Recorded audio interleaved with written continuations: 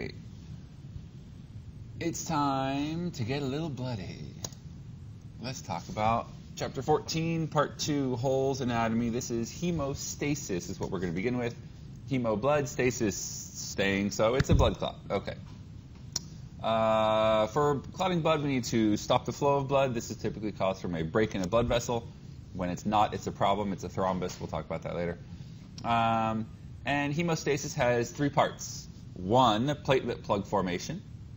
Two, vascular spasms. We'll learn about spasming today. Many of you know that well, especially the guys. And three, coagulation or clotting. Okay? Um, so these three phases I want to show you here with a, a quick uh, tutorial, which you can uh, click on as well yourself. So what you see here is damage to um, blood vessels. Um, this is a capillary in this case that we're showing. Uh, actually, not a capillary, but a, maybe an arteriole.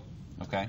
Um, when these vessels are damaged, they're basically what we're going to do is, uh, as you can read here, I'm basically going through these things. It, this is going to be more complicated than you need to know, but this is the best video that shows all these things. Okay.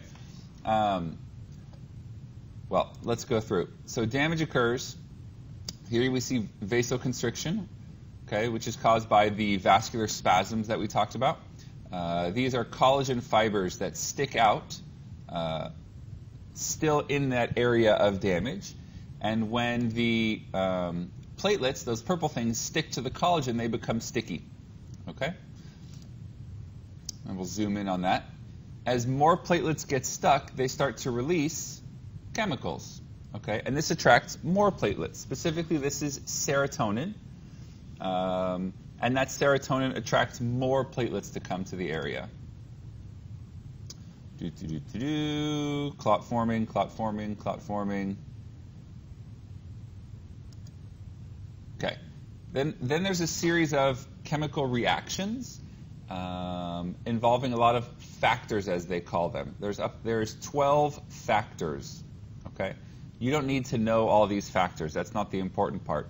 We will touch on a couple of them later when we talk of a couple different blood diseases, such as hemophilia, which is a uh, deficiency in a certain factor. But in general, these factors are a cascade mechanism. One thing reacts with another and another and another to solidify and to cause this clotting to occur. Okay? are you going? Okay. One thing you do need to know is that prothrombin gets activated into thrombin, and then thrombin works with the clot and triggers fibrinogen to be converted into fibrin, and together that forms the fibrin meshwork. Um, these cross links of fibers that form the clot itself. Okay? And then sometimes you'll see blood cells get stuck in the clot. Not sometimes, all the time. And that's why the clot looks red um, and it plugs the hole. This is not a, a scar. This is not a scab yet. This is just the clot forming.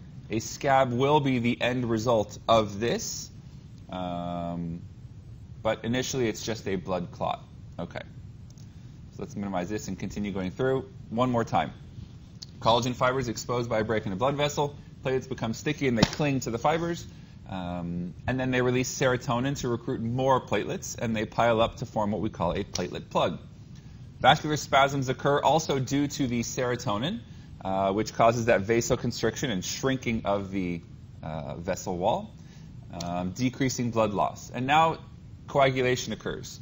The tissues that are have been damaged release thromboplastin. Thromboplastin. Now, thromboplastin interacts with an, another chemical called PF3, um, and those two together, uh, as well as some other factors, as we said, and some calcium, triggers this cascade of factor to factor to factor to factor. Okay? And that gets us to prothrombin. Okay? Prothrombin gets converted to thrombin, and then thrombin converts fibrinogen into fibrin, which forms the clot. Now, just a little sort of general thing that you may see again. Hear this term fibrinogen anytime you see a word that ends in ogen, um, that means it's an inactive enzyme. So fibrinogen is an enzyme um, that you have in your um, on the in your body but you don't want it active all the time because then it would form clots all over the place. So it's inactive, and not until it gets activated into fibrin that's the active form. These inactive enzymes we call zymogens, Z-Y-M-O gens, uh, G-E-N-S, which is why um, fibrinogen, that's the, the suffix, the basis for it. Okay? So that's uh, hemostasis or blood clotting. It'll last between three to six minutes, or it'll take, not last, it'll take three to six minutes to occur. Um, and then underneath the clot, uh, and underneath this um, scab that has formed, you'll start regenerating cells, uh, skin cells, and so on. And often, scar tissue, as you know, um, will form in place because it regenerates faster than uh, skin does. If you pull off the scab, as many of us have done in the past, you will prompt the formation of even more scar tissue more quickly um, to, to um, close up that hole in your body, um, as opposed to allowing an ample time for skin, for example, to fill in the gap. Um, and then once everything is repaired, the, uh, the clot gets broken down and eliminated. Now, as I mentioned, sometimes clotting happens when you don't want it to. So if you have a blood vessel that hasn't been damaged and you still have a clot that forms, that's called a thrombus. Okay? A thrombus can cause uh, a heart attack. Um, a thrombus can cause a stroke. Um, and a thrombus can cause an embolism. An embolism is a traveling thrombus. When that thrombus breaks away from its attachment on the inside of the blood vessel, it'll travel freely through the bloodstream. And if it goes into a smaller diameter uh, blood vessel, it can get stuck and cause a backup, and all the blood uh, won't pass through the, this uh, embolus, and uh, the, the cells on the other side of the clot will be starved and they'll die. Uh, this is a very typical way that strokes occur. Um, this is why they say when you're in an airplane and you're sitting for long periods of time, you're supposed to get up and move around to allow the blood flow to go through your legs, because the pressure of the chair on your um, uh, on your legs, on the uh, underside of your legs, can cause a thrombus to form. And then, uh, if you haven't moved around, that thrombus can break off when you get off the plane into an embolism. Um, and quite often, that embolus uh, can get stuck in the lungs, and people will have a pulmonary embolism uh, as a result of flying. Um, so, when you fly every few hours, move around. There's also certain bleeding disorders thrombocytopenia, once again, we see the penia, but this case we have uh, due to platelet deficiency. Um, normal movements can cause tiny, tiny bleeds all over um, because they don't have enough platelets for clotting. So these people, um, one of the characteristic symptoms is they have little dots, little red uh, dots um, on their skin where there are little patches of bleeding all over. Uh, hemophilia, you've probably heard of, is clotting disorder. Uh, it's hereditary. Normal factors are missing, so they can't clot blood. So a simple nick from shaving, for example, um, can cause them to bleed endlessly. So they often apply chemicals on the outside to, to promote um, clotting. Uh, again, thrombocytopenia will also cause this bleeding type thing. Now, if you lose lots of blood, uh, that can be a problem. Yeah. So if you lose 15 to 30 percent, uh, it causes weakness. If you lose over 30 percent, you can die uh, through shock. Uh, again, remember that low blood pressure is far more dangerous than high blood pressure, at least in the short term. Uh, temporarily, they may put in um, saline to help boost the blood volume to maintain your pressure, but that's only for a short period of time because you're not getting enough oxygen to all your tissues. There's no extra oxygen, uh, oxygen gas in saline. So you need to get transfused, meaning you need a, a blood uh, transfusion. And it needs to be your own blood group, of course, okay? Uh, we'll determine your blood group when we do our blood typing, assuming you want to do that. Um, but your blood type is determined by proteins that are on the surface of the red blood cell, and we call these antigens. Now, these antigens are just like on every other cell, they can be attacked by the immune system if your immune system deems them foreign. Um, if your immune system gets trained to see certain antigens, then it won't attack them anymore um, or at all. And this is your self antigens as we describe them.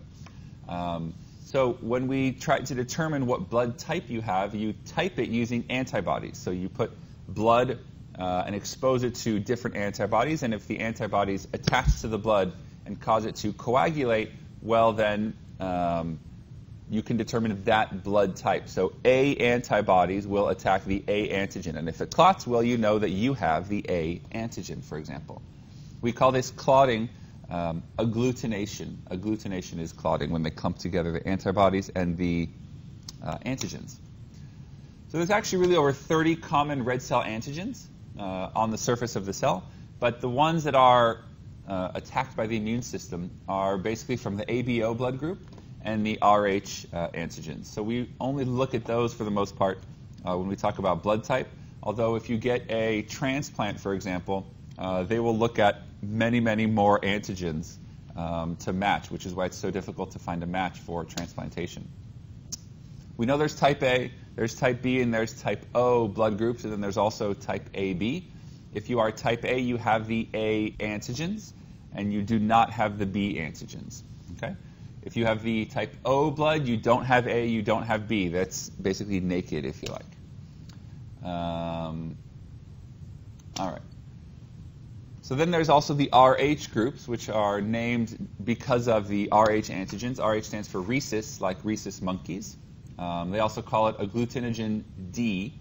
Um, now, most of you are Rh positive, okay? The highest percentage blood type in the United States is actually O positive. I'm O positive. Um, it's, I think, 40% of the population is O positive. But uh, there's something very interesting um, in pregnancy.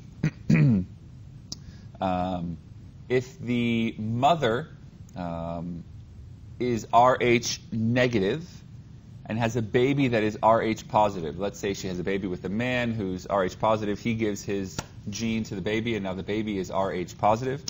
Uh, that can be a problem, okay? Um, because the mother's immune system will be exposed to the Rh antigen in the baby's blood, but the mother's immune system will have never seen the Rh antigen.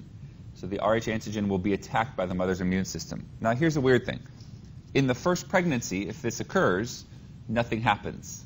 Okay? Uh, doctors are kind of aware of it now, but the baby is not um, attacked. Nothing really happens.